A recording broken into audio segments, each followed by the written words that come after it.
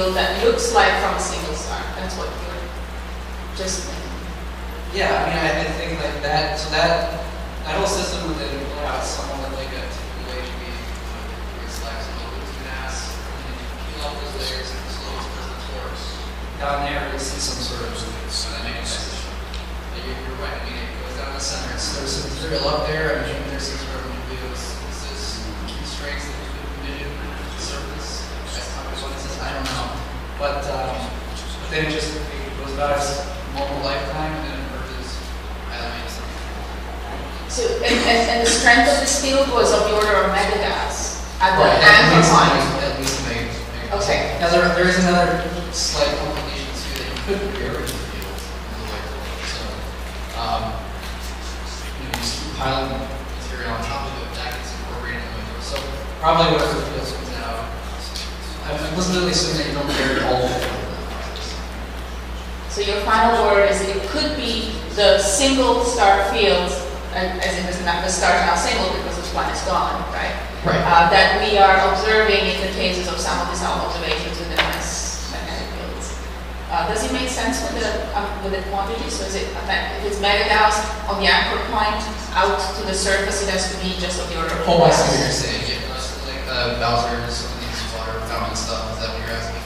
I'm just asking. I think that's I'm what- trying to get it top of my head, but is it is Yeah, it I going to be remember about a that. house on the surface? Well, I remember looking at those a while ago and thinking that like if you worked that all the way back up again, you were looking at like at least five gallons or something, maybe, maybe someone else who's actually done that. I think it's So- possibly, might be a little bit too high. It's four orders of magnitude, so, you know, ten to the nine, uh, in scale, ten to the nine, ten to the thirteen on the surface. So if the dose of water were R, then it would be, you know, a hundred times. If it's R squared, it's nine by another factor. So it depends on how the scale is. We're just trying to. Couple of ignorant questions, I guess. Um, so what is the free, is it a free fall time for the planet when it plunges towards the center or is it slow? Oh, no, I, I would say it's, it's, it's basically typical continental, so there's, there's spiral time that's associated with that, which, various people debate how long that takes, but I, I would guess it would be something in the order of a year. A year? A year, so, but fast. Okay, another question is, um, are you sure that the planet will remain intact? No, no, no, I think the planet won't remain. So that's, that's the. No, I mean even way before reaching the core. Oh, yeah, so there's been some people who've looked at possibly evaporating the planet, um, and those calculations kind of peel off the, the upper layer of the planet. But the thing is, the planet has a very, there's a very steep entropy gradient. You want to fully evaporate the planet, you have to transport that heat down to the center of the planet, which I think is very hard to do.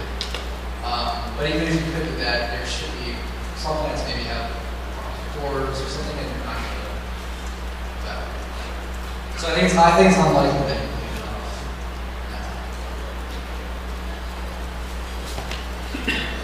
Yes. Yes, one point, just for discussion, is, so now that we are getting towards ability to perhaps model the um, common envelope phase or more of the binary interactions, I guess I just wanted to open up to people like, what should we be doing? Right, I mean, there's this whole, this is what's interesting, is that I think there's a lot more questions than there are researchers along uh, these lines. So I guess, you know, just wanted to open up to the community about what, you know, part of this speaks to this question is about linking observations with what we can do in theory. But now that we can run simulations over the next five years, we're probably, you know, really going to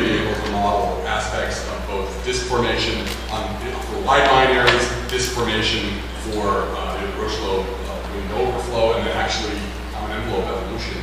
What are the open questions?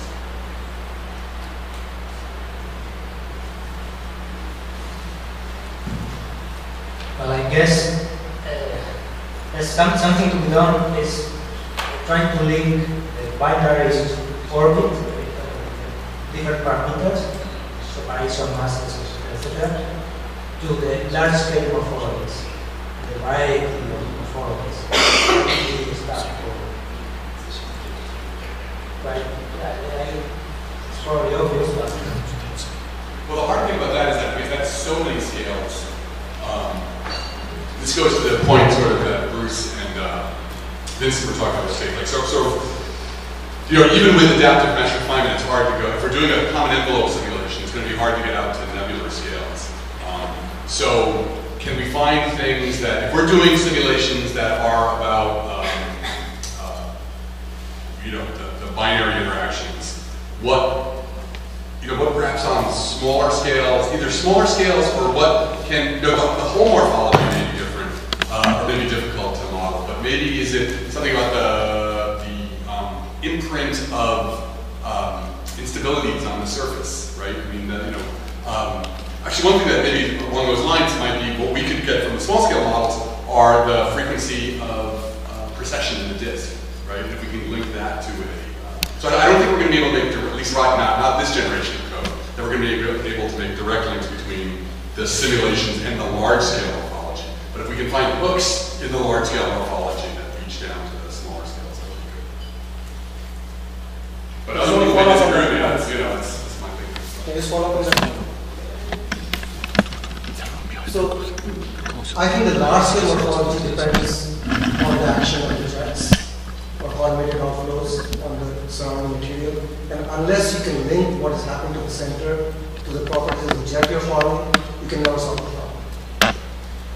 So the jets, that might be a place because if, you know, uh, the central engines are controlling, like I said, so the precession or the mass loss of the episodes, that may be a place really where we can answer, we can get the frequency of episodic ejection.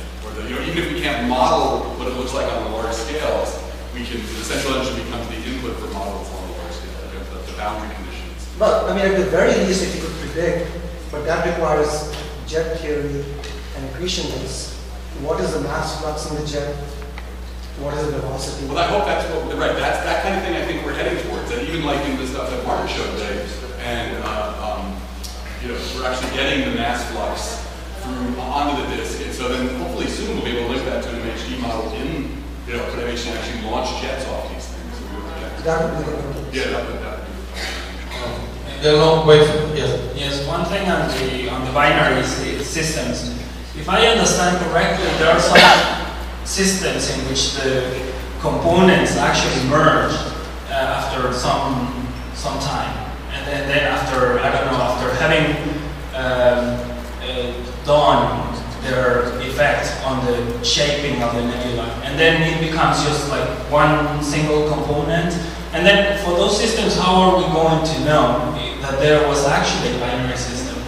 I mean, if, if we see them afterwards and we just see one single star in the center, how will we know that there was a binary system and, and that, yes, it was responsible for the shaping in those cases?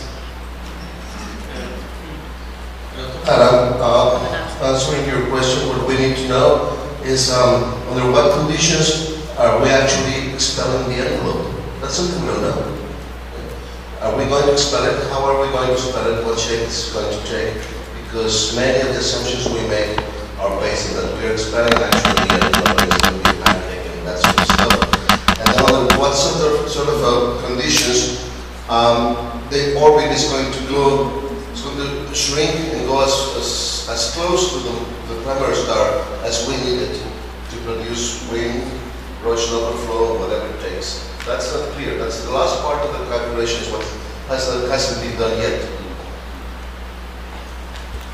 Also, I don't get my information. So, an answer to the, well, rotation rates would be great, right? Uh, they're very hard to do in central stars in the end because they're broad lines, they're variable lines. Uh, but uh, there was one in my poster, it's not done by ourselves, it's, it's a, ci- cited from another paper. They did uh, the rotation rate through variability and they got a rotation rate of 50 kilometers per second, which is extremely high. Um, I know that uh, Thomas Rauch had looked at rotation rates of PG1159 stars. I still remember this poster, I don't know if it was in a paper, showing that they were systematically higher than other objects for which they could do it, but it's not easy to do. And I have a quick, quick question for Adam. Adam, so it's true you can't simulate the large scales of PN in a common envelope simulations, but we talked about this in the past. But what if you uh, simulate out to a certain um, uh, radial distance, the common envelope projection, which we can do. It's not very large, right? Uh, let's say, I don't know, I, I, I here maybe a few hundred a year, maybe a bit less. Uh, and then you take that density cube, and with its velocity and its pressure as an internal energy, and you stick it in AstroBear, in a completely different simulation. And at this point, you probably don't need gravity anymore, and you just let it go. And then you blow some wind in it, and The only problem, the problem there is, I think that's probably something we do, but you have to make assumptions about time dependence, right? Because everything that's happening in your, your, um, small scales is happening also on short scales, right, uh, in general, right? And what's the longest you've run your simulations in common envelope? um, years. Right, right, and so, um, and typically, you know, sort of, uh, what we see for these outbursts are on the orders of hundreds of years. So you just have to make that added assumption that, you have, you know, because, right, you're saying, use what you get from the common envelope simulations on small scales out to maybe 180 or so as boundary conditions or inflow conditions for your large simulations. But then you have to say, how long does this last? And also, now that I say, I say the opposite, okay? I like to say, Orsola, you're an idiot. Why are you saying that? Um, Miguel, the answer is that when you look at the common envelope outflows, just very close, right after the common envelope, they're kind of big torques, very fat, not very high density content. If you blow a circular wind in that, you're gonna get some kind of collimation. It's gonna be elliptical. I don't have, we don't have to run it. But the problem is that things are still going on, there'll still be jetting, there'll be infall, and that's. Right, fallback You the can't do it formation of on an accretion disk around the core, like what uh, Jason was showing, that could generate an outflow. And so, yeah, I mean, but this is an ongoing, I mean, I'm asking this question not expecting answers, but to start the discussion, because at least we're finally at the point that we can actually, you know, and we're- we've got a bunch of different codes that people are working on, you know, the SPH and the, the grid-based, that we can try and, you know, get some answers, and then see where, where to take it. I guess just to follow on that, I, I would say, one of the things would be to have a clear uh, understanding of which scenarios produce which accretion rates, that basic, the basic sort of tesseract of that, which binary companions, you know, common envelope, not common envelope, wind Roche, BHL, Roche overflow, all of these things you can imagine, because the accretion rates are the thing which, you know, then, then at that point, whatever jet model you have, draws from that as an initial input. And even if, so if we knew that basic information about all these scenarios, that would be, you know, something that we can put up with. Yeah, the accretion rate of the response of the center of the object. So by Yeah. default, Newton star. You can do there's, there's all kinds of, either accretion on the secondary, accretion on the primary, or, you know, so those are the two things, but, yeah, and then depending on the mass of each of those, what the, you so that could be. Yes, indeed. The Type 1A supernovae, use binary system to bring almost stan- standard candidates, not really standard candidate type 1. Here we use the variety of binarities to actually give us And as Each planetary nebula is a unique nebula. So, uh, anybody for single star shapings, single star evolution?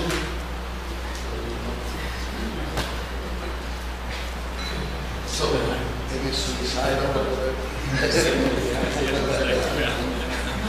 I thought talking about single star evolution, but there's still the type one problem of of planetary nebula, that they are located more set around on the, on the. So what about, the more. Yeah. well, I mean, that was the, the, the the contention that they are more but I, I don't think there are any ones uh, to, to, to show it. But how can, how else can we explain that? Yet more, more massive stars are, um, tend, tend to have probably different kind of binary ratio, the ratio of the envelope mass to the to the stellar mass is is, is larger because you go to 1.52 solar mass star, you lose a little bit, so the envelope is half of its stellar mass. More massive star, the envelope is much more massive.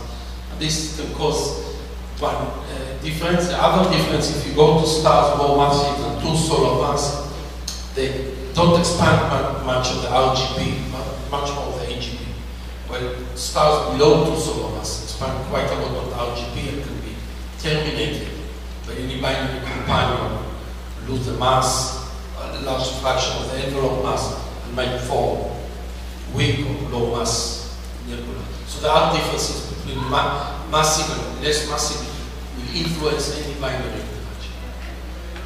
But we don't, we didn't explore it.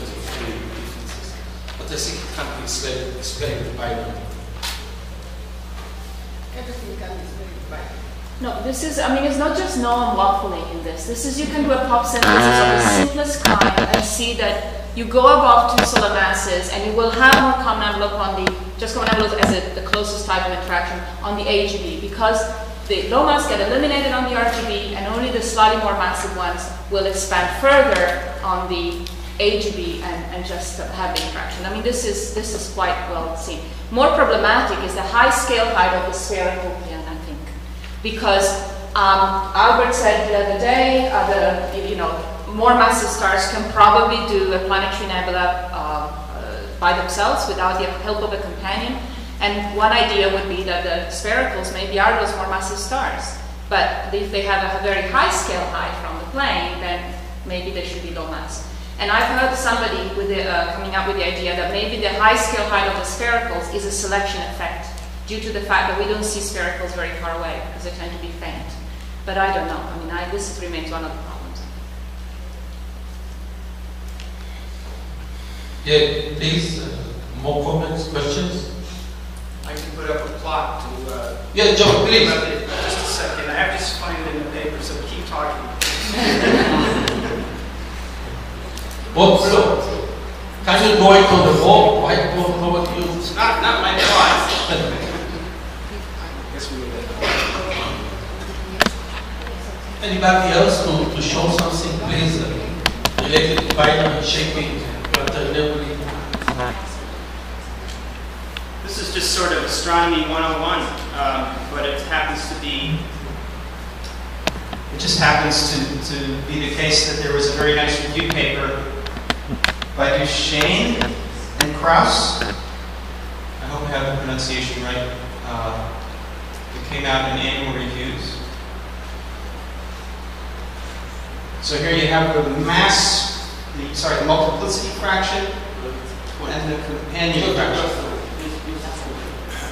So the multiplicity fraction and the companion fraction of stars is a function, I know there are available, always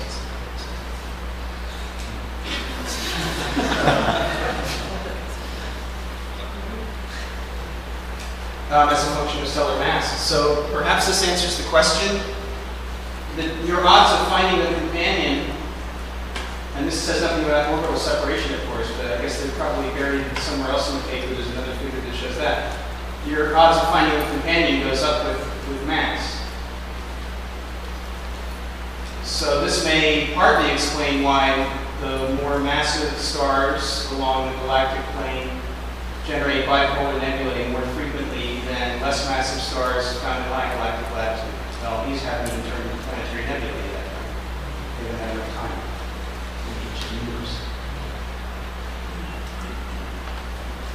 It's a very nice paper. Can I ask a question on that one? Ask a question about the plot.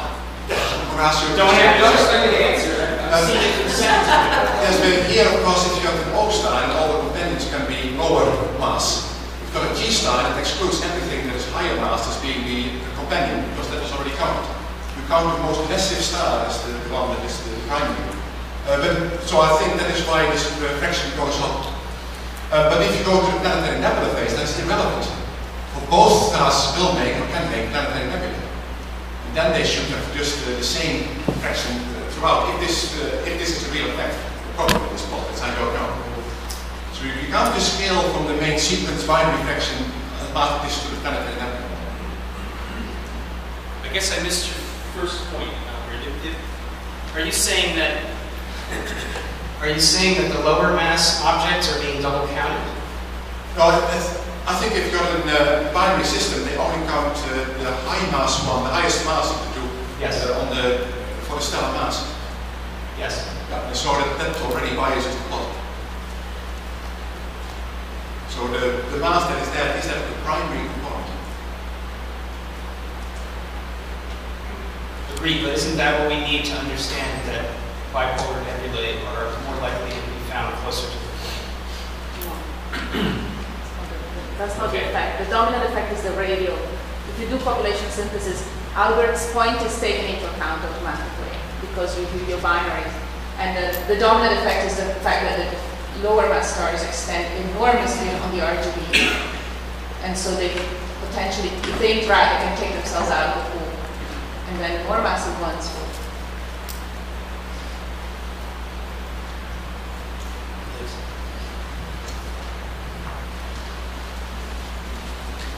I, I was just going to make a, a small point, which is that I don't think we, I mean, in the absence of a companion, is there any, you know, really uh, clear, I mean, there's not a clear um, result that says that a spherical object can't make a planetary nebula. I mean, there are arguments about why it might not, but we're, we're not really, I mean, even in the simulations in which binaries are used, if you take off the binary and keep the winds going and run it through shape, I think you'll still see a, spherical planetary nebula from those types of simulations. So there's also effort needed to, yeah, so I mean, if it's, it's perfectly possible still that, that, you know, just the spherical ones are, you know, binaries, maybe more work is needed to really rule that in or out from a first principles point of view. Uh, that would be the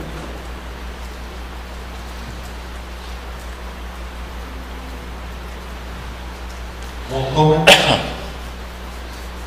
Let me present something just if you control. Uh, so we'll take